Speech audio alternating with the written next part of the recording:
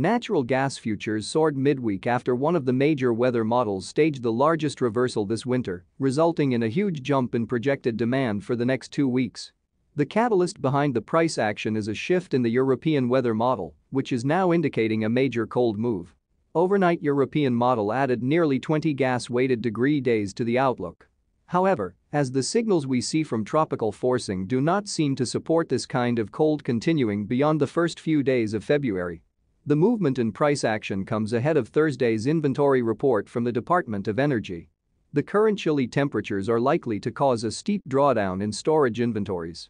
A Bloomberg survey produced a range of withdrawal projections from 198 to 225 billion cubic feet, with a median pull of 215 billion cubic feet. Looking ahead, demand this week will be the strongest so far this winter and will result in next week's draw likely printing over 250 billion cubic feet.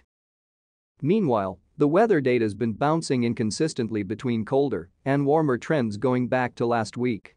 Technically, a break back under $3.90 will be a sign of weakness. Holding this level along with a favorable weather forecast could launch the market into $4.30 area